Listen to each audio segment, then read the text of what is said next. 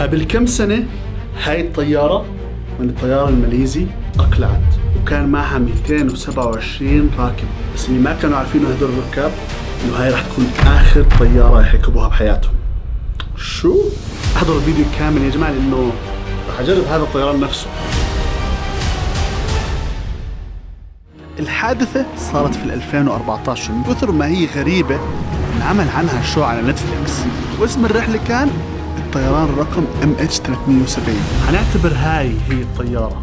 وكانت بدها تقلع من كوالالمبور فالطيارة كانت عادي متحركة رايحة على الصين ولا فجأة هون بفقدوا الاتصال معها. يعني بطل الطيار يرد على المطار. وفجأة بعد ما بطل يرد لف. بعدين فجأة انعطفت وراحت هون. وهون يا عزيزي بلش يفقد الشبكة مع الطيارة. يعني اختفت عن الرادار بطل يبين موقعها. فهون المفروض هي نقطة اختفاء الطيارة. بس لسه لسه. لأنه مع إنه الطيارة اختفت على رادارات المطار كان في satellite لسه قادر يشوف الطيارة. satellite تابع لشركة Inmarsat فضلهم يلتقطوا مكان الطيارة من هذيك النقطة والغريب إنها رجعت انعطفت وتحركت باتجاه المحيط الهندي. هلا هذا الساتلايت كان بيقدر يلتقط إشارة من طيارة مرة كل ساعة وضل يلتقط إشارات لمدة ست ساعات. يعني الطيارة طارت لمدة ست ساعات فوق المحيط الهندي لحد ما فجأة اختفت على الكامل. هلا زي ما حكيت لكم كان على الطيارة 227 راكب غير ال 12 اللي كانوا بيشتغلوا في الطيارة يعني 239 شخص. هدول الأشخاص أهاليهم ما استوعبوا. كيف كيف يعني ابني اختفى؟ كيف؟ الموضوع مش منطقي وبسببه هدول الناس غضبوا. كثير عصبوا. كيف يعني اختفوا؟ وين راحوا؟ وبلشوا يضغطوا على الحكومة ويعملوا مظاهرات لحد ما اجتمعوا أكثر من حكومة وأطلقوا أكبر عملية بحث في التاريخ. وعملية البحث هاي كان فيها 20 سفينة وحوالي 22 طيارة. من بلدان زي الصين، أستراليا، ماليزيا، بريطانيا، أمريكا، تحكي لي أحمد اشمعنى هذول الدول؟ لأنه في الطيارة كان في ناس من أمريكا، كان في ناس من بريطانيا، كان في ناس من ماليزيا، حتى إنهم ودوا غواصات غواصات. بس المشكلة إنه المحيط كتير كبير. يعني هذا هو المحيط الهندي. طلع. هذا كله لحد القطب الجنوبي. طالما ما أكبروا. ومعلومة إحنا كبشرية بنعرف عن الفضاء أكثر من البحر. المحيط كثير عميق وكثير واسع. وإحنا كبشرية ما بنعرف شيء عنه. والطيارة هاي اختفت في موقع مجهول. في دائرة معينة مشكوك إنه هي اختفت فيها بس مكانها بالتحديد ما حد بيعرفه. فالنتيجة كانت إنه بعد أكثر من سنتين صاروا فوق السنتين بيبحثوا بكل قوتهم. بيتم الإعلان إنه عملية البحث هاي قد فشلت. ما لقوا ولا إشي يذكر. لليوم ما بيعرفوا شو صار بالطيارة وما بيعرفوا إذا اللي عليها عايشين ولا ميتين. يعني ما في إشي يثبت إنهم ماتوا ترى. ولأنه ما في أي معلومات حقيقية عن الموضوع صار يطلع نظريات مؤامرة. يعني في نظرية تحكي إنه الطيار انتحر في نظرية تحكي إنه هذا عمل إرهابي وفي حدا سيطر على الطيارة و... وفي نظريات بتلبس الموضوع بالإشي اللي كل حد بيلبس الموضوع فيه لما يصير إشي غريب اللي هو المخلوقات الفضائية. وحرفيا في في فيديوهات في فيديوهات تثبت إنه المخلوقات الفضائية هي السبب.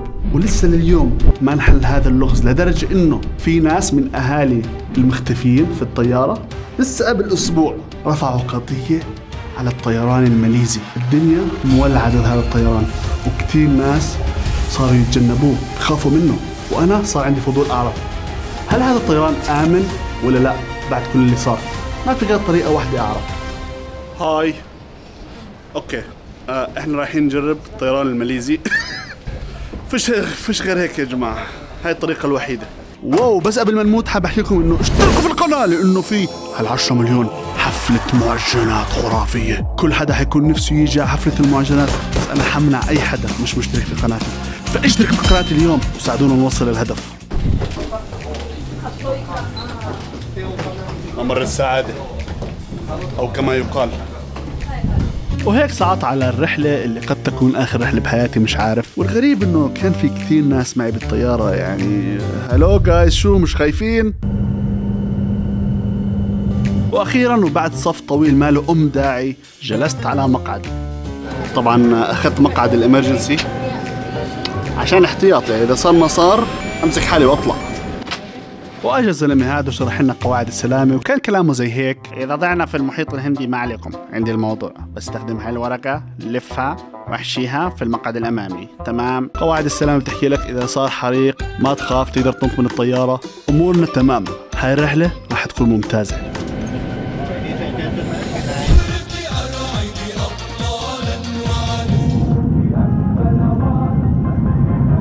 أول شيء لاحظته في الطيارة إنها كثير مزعجة. يعني أنا حاطط سماعات مضادة للإزعاج. ومع هيك طبعا في زلمة إجا وقرر يقعد جنبي وخلينا نسمي هذا الزلمة رمزي. رمزي ميزته إنه مستحيل يتوتر. وهلأ حتعرفوا ليش هذا الإشي مهم. امم فقرة الأكل فقرة المفضلة بكل طيران بطلعه. شوفوا ردة فعلي على منظر الأكل لما فتحته. الله على الجمال. يمكن المنظر ما له دخل بالطعم. أوكي انسى الموضوع. هون ممكن تشوفوا نظرة الاستغراب على وجهي. ليش؟ لأنه الطيارة فجأة صارت تهز كثير بشكل مش طبيعي. المشكلة إني مش حاس حدا مهتم غيري أنا يعني. طلع رمزي مثلا. والله ما هو سائل يا زلمة. بس أنا كثير خفت لأني بعرف إنه هاي الهزة مش طبيعية. سافرت مية مرة قبل وبحياتها ما الطيارة هزت هالقد. الطيارة قاعدة كثير كثير بتهز بطريقة مش منطقية والطاقم قرر يوزع عصير. الموضوع مش منطقي ركزوا على قنية الكولا شوفوا الهزة قديش. الطيارة صار لها نص ساعة بتهز. وبالنسبة لرمزي ف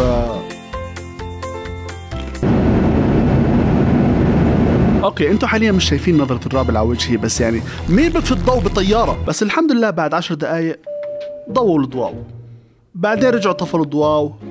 بعديها ضووا الضواو وطبعا رجعوا طفوا الضواو. وهيك وبعد رحلة شوي غريبة.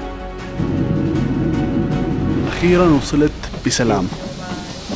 طيب أنا حاليا في ماليزيا بدون أي سبب.